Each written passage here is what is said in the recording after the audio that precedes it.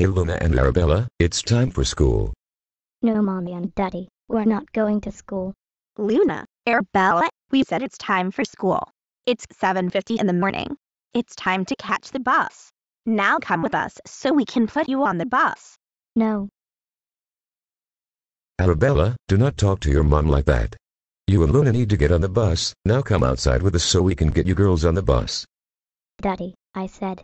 No, Oh, now you're talking to your dad that way? How naughty. Arabella, you and Luna are very naughty girls. we're not naughty girls, Mommy. We're in fact very sweet girls who are more than willing to help anyone out in need. Luna, that's a lie and you and Arabella know it. Now come with us now.